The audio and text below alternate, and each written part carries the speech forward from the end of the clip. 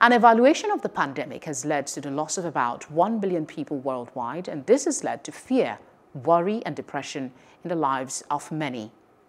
Based on these alarming statistics, the World Health Organization, WHO, held a press briefing to address the mental health of people in Africa. Plus TV Africa's Iseme Omokai joined the webinar and brings us this report.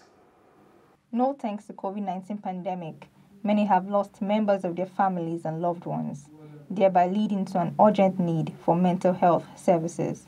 According to the WHO survey, about 130 countries globally are experiencing a disruption in access to critical mental health service. Thus, there is an urgent call for increased funding in the mental health sector. Government expenditure per capita on mental health is low globally at $2.50 per person. In the African region, this drops to less than 10 cents per capita. This reaffirms the importance of increasing investments in mental health and building the realization of its importance and its place in priorities in decision making in health. With many people facing increased levels of alcohol, abuse of drugs, insomnia, and anxiety, the WHO sees a surge of mental illnesses due to COVID 19 in Africa, ranging from psychosocial distress, worry, depression. the Tertiary hospitals saw a sudden rise in alcohol use disorders since bars and drinking places were shut down. UTH had recorded 45 admissions in one single day because of alcohol dependent withdrawal symptoms of varying severity. This is a medical emergency, the highest incidence rate to date.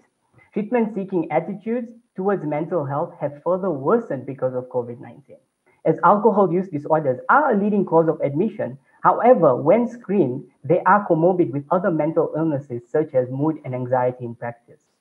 Now, People who survived COVID 19 developed psychosocial distress, including their family members who have been stigmatized against. Up to 20% of this population has developed acute stress disorder.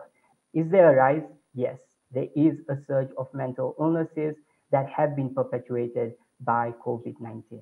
As the pandemic continues, even greater demand will be placed on national and international mental health programs that have suffered from years of chronic underfunding. For Plus TV Africa, Iseme Omohai.